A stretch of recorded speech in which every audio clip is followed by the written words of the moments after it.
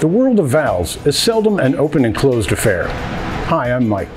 Sometimes parts and components are very similar to each other, but there are key differences between them that result in different applications for each. In each episode of this video series from Radwell TV, we compare the parts that are similar to each other but also have their differences. Today I'll be comparing a direct acting solenoid valve and a pilot operated solenoid valve. The biggest similarity between the two solenoid valves is that they are both used where fluid flow must be controlled automatically in order to shut off, release, dose, distribute, or mix fluids. Direct acting solenoid valves are operated by a coil magnetically opening the valve in a direct action, lifting the shaft and seat of the valves without depending on outside pressure. Current through the solenoid generates a force which pulls the plunger and seal against the spring force and draws the medium upward. As such, the channel is open for the medium to flow through. When the solenoid is de-energized, the valve will close.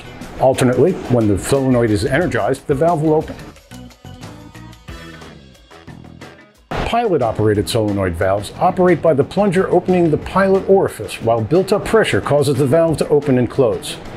Pilot-operated solenoid valves use the differential pressure of the medium over the valve ports to open and close. Fluid allowed to enter the chamber will compress against the diaphragm and force the seat to maintain the closing seal. Once current is applied to the solenoid, the diaphragm is pulled upward and the fluid will flow through. There are a few differences between the two solenoid valves. First is pressure tolerance.